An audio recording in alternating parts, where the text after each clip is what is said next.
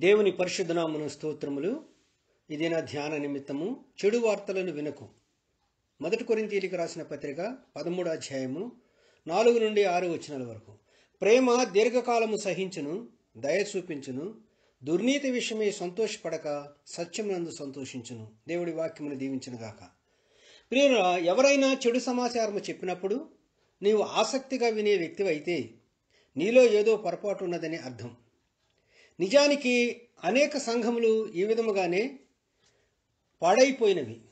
మిషనరీల దగ్గరకు ప్రజలు వచ్చి చెడు వార్తలను వారి చెవిలో ఊదేవారు. ఆ విషయంలో మేము కూడా ఎంతో శ్రమ పొంది ఉన్నాము మీరు ఆలోచించండి. మన సహవాసములు కూడా లేకపోతే మనకు వ్యక్తిగతంగా పరిచయంలో ఉన్నవాడు కూడా ఈ విధంగా చెడు సమాచారమును ప్రోగు చేసే పనిలో నిమగ్నమైన వారు మనకు అక్కర్లేదు. ఆత్మీయ జీవితం ఉద్యోగం చాలా సున్నితమైన విషయాలు. ఆత్మీయ జీవితం కానీ ఉద్యోగం అనేది చాలా సున్నితమైన విషయాలు. మనము ప్రేమతో నిండినప్పుడు ఉద్యోగం వ్యాపిస్తుంది. నీ గురించి చెడు ఉన్నప్పుడు నిన్నెలా ప్రేమించగలను? నేను ప్రేమించలేను. నీ గురించిన చెడు వార్తలు వినుటకు నేను చోటు ఇవ్వకూడదు. నిన్ను గురించినటువంటి చెడు వార్తలకు నేను చోటు ఇవ్వకపోతే నిన్ను ప్రేమించగలను. ఒక వ్యక్తి యేసును నిత్య జీవమునకు వారసుడకుటకు నేనేమి చేయవలను అని అడిగినాడు. అందుకు ప్రభు నీ దేవుడైన ప్రభువును నీ పూర్ణ హృదయముతోనూ నీ పూర్ణ మనస్సుతోనూ నీ పూర్ణ శక్తితోనూ నీ పూర్ణ వివేకముతోనూ ప్రేమింపవలననియు నిన్ను వలె నీ పొరుగువానిని ప్రేమింపవలనని చెప్పాను.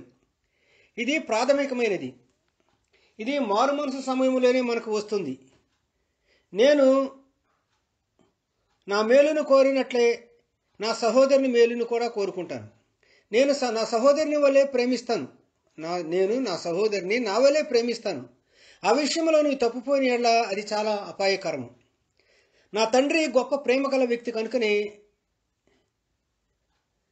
నన్ను కూడా ఆయన ప్రేమిస్తున్నట్లు నేను కూడా అనేక మందిని ప్రేమించాలని దేవుని వాక్యం నాతో మాట్లాడుతుంది.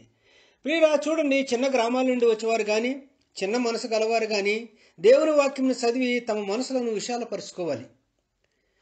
నా భక్తుడు నన్ను తప్ప మరి ఎవడు గురు నా భక్తుడు తప్ప మరి ఎవడు గురుడివాడు? యహోవా సేవకుడు తప్ప మరి ఎవడు గురుడివాడు? అనే యశాగ్రంథం నలభై రెండు పంతొమ్మిదిలో ఉంది. ప్రియులరా మనము చాలా విషయాల్లో చెవిటివారిగా ఉండాలి. నేను చాలా విషయాల్లో చెవిటివాడిగా ఉంటాను. ఇంకొకరిని గురించి ఎల్లప్పుడూ చెడు వినట నాకు ఇష్టం లేదు.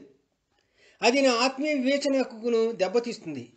నా ప్రేమను దెబ్బతీస్తుంది. నా ప్రార్థన బలహీనపరచబడుతుంది. నా ప్రక్క ఉండి ఇలాంటి విషయాలు చెప్పేవారు నాకు ఇష్టం లేదు. ప్రియుడు ఆలోచించండి నీవెన్ని ఆత్మలు సంపాదించున్నావు? ఇంకొక వ్యక్తిని గురించి మాట్లాడవద్దు. సహోదరులారా ఒకరికి ఒకరికి విరోధముగా మాట్లాడుకుడి అని యాకోబు పత్రిక నాలుగు అధ్యాయం పదకొండవ వచనంలో అని బైబిల్ చెప్తున్నది. చెడును మాట్లాడట ప్రేమ కాదు. చెడు వార్తలను వినకూడదు. చెడు వార్తలు వినటం వలన విశ్వాస జీవితం కుంటుపడుతుందని దేవుని పక్షంగా మీకు విజ్ఞాపన చేస్తున్నాను. దేవుడి వాక్యమును దీవించును గాక మీన్